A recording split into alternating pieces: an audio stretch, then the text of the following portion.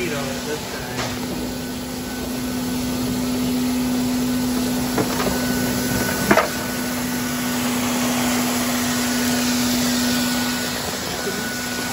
They go in reverse.